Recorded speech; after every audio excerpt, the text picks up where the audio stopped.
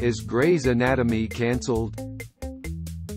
Grey's Anatomy, renewed for season 15 at ABC. With the pickup, the Shonda Rhimes medical drama becomes ABC's longest-running series ever.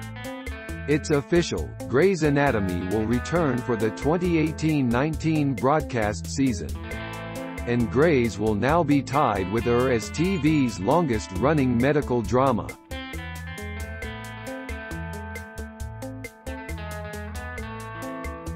Thanks for watching. Please subscribe.